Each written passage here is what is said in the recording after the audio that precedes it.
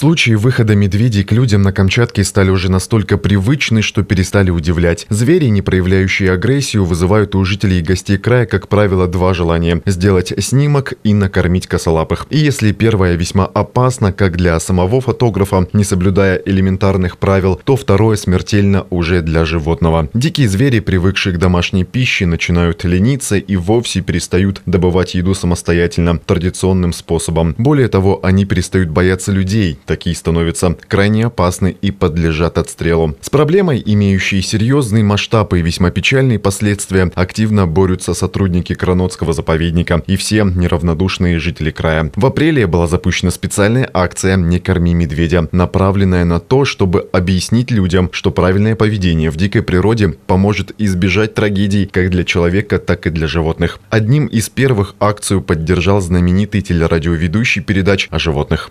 Я вас очень прошу, вы сдержитесь от кормления медведей. Такое кормление плохо заканчивается. Вам жалко животных, возможно, но в результате ваших действий они становятся попрошайками. Когда они привыкают брать пищу из рук человека, они могут стать опасными, потому что они от любого человека ждут, что он с ним поделится едой. В результате эти контакты очень плохо заканчиваются. Гибнут или медведи, или люди, или и те, и другие.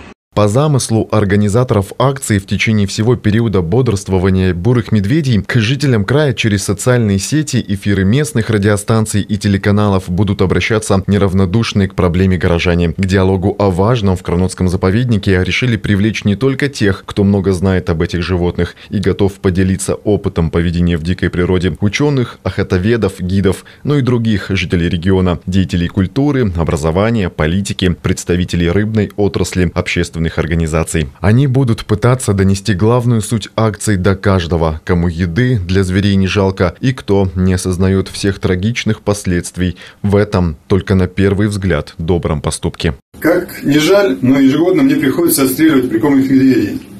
Такие звери начинают агрессивно выпрашивать пищу и становятся опасными для всех людей. По моему глубокому убеждению, медведей могут кормить только невежи.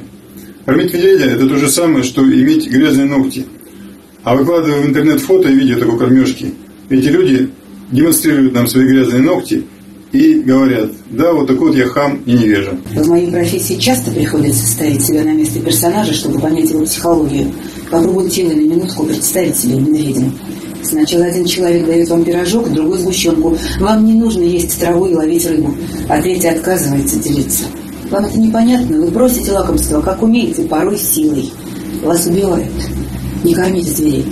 Сохраните медведям жизнь. Каждый год вместе с выходом медведей из спячки просыпается и злободневная проблема. Несмотря на многочисленные предупреждения, как представителей власти, так и охотоведов, находятся те, кто с радостью угощает встречных зверей. Как правило, это происходит на трассах, соединяющих краевой центр с отдаленными районами края, дорогах, ведущих к природным достопримечательностям возле турбаз. Медвежью услугу хищникам оказывают и те, кто устраивает свалки пищевых отходов в черте населенных пунктов и вокруг дач.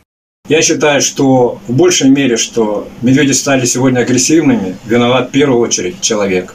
Поэтому приглашаю всех присоединяться к акции «Не кормите медведей. Поддержать акцию может любой, и это совсем не сложно. Достаточно просто выполнять рекомендации специалистов и не угощать хищников у дороги. Отметим, накануне сотрудники Кранотского заповедника подвели итоги конкурса «Не корми медведя». Лучшие художественные работы участников войдут в основу информационных аншлагов, которые будут установлены в местах, где чаще всего косолапые выходят попрошайничать еду.